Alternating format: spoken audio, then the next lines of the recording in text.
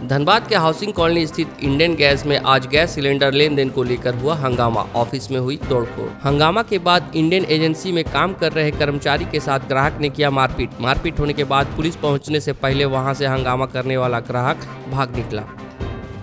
अभी आया था अभी हमको पहले बोला पहले सिलेंडर चाहिए। तो हम पहले कंज्यूमर नंबर पूछे। तो कंज्यूमर नंबर पूछे तो हम बोला बहुत बच्चा है। मतलब समझिए कि बोला हमको गैस चाहिए। तो हम बोले पहले दो चार कप लिए हैं अभी नहीं दे पाएँगे महीना के अंतिम में दे पाएँगे। तो फिर कल हम बोले पहले ठीक है मैडम को आने दीजिए। मैडम को फ़ोन लगा बिज़ी हो गए तो नहीं उठाए। तो ठीक है मैडम को आने दीजिए फिर बात कर लीजिएगा। और फिर वैसे भी तोड़ फोड़ कर दिए क्या नाम है तुम्हारा? प्रकाश मंडल।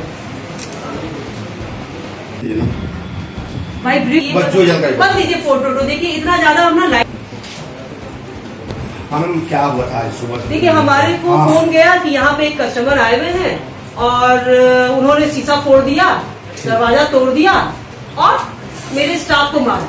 ये स्टाफ है, उसका भी फ़ोटो ले लीजिए उसको मारा। कारण क्या था? क्या कारण था? कारण था कि वो गैस मांगा था और शायद इस महीना में लिया हुआ था। तो ये बोला कि आपका इस महीना में लिया हुआ है तो हम इस महीना के अंत में दोबारा दे सकते हैं। मगर ये ये भी बोला कि मैडम को आने मैडम को आने दीजिए कल शाम में भी हमको फ़ोन किया था। कल शाम में भी हमने बोला कि तुम कल सुबह बुला और ये सुबह आने के लिए बोला।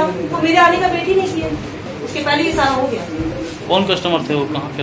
कस्टमर का नाम है अशोक अशोक सिंह अशोक सिंह के नाम से कस्टमर का बुक है। और जो लड़का आया था उसका नाम कौशल है।